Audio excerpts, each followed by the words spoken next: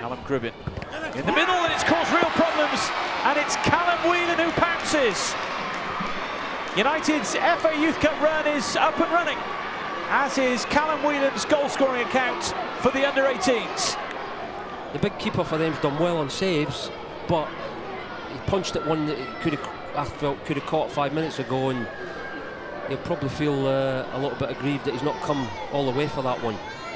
Whelan's not the biggest player on the pitch, and he's kicked that in almost as the ball's hitting the ground. Here's Bowler. Two in the middle. Ball could go anywhere, and it's in. But the flag is up. The flag is up. And the referee and the assistant will now have to consult each other. Is this goal going to count? And it is given. Queen's Park Rangers are right back in it. Both sides have now bundled the ball over the line. And we are all level at 1-1. So again, United will not leave tonight with a clean sheet. Still just one this season for the under-18s. Here goes Rashford. Still going Marcus Rashford! And the only thing that could stop him was the crossbar. Some... I was going to say, he done well to stay on his feet, Dave, there, because that's a penalty. The tackle's come in, got nowhere near the ball. His pace has got him in there again. Stays on his feet. So unlucky, so unlucky, but great piece of play.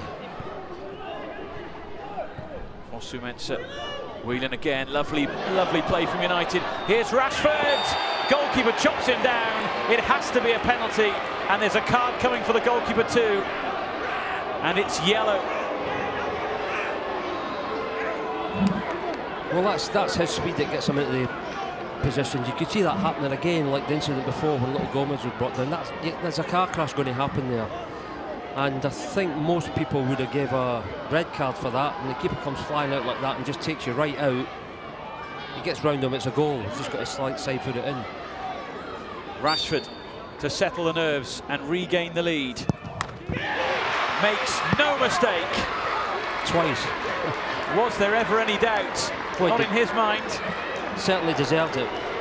He could have went down earlier on in the game. He hit the crossbar, was unlucky not to win it.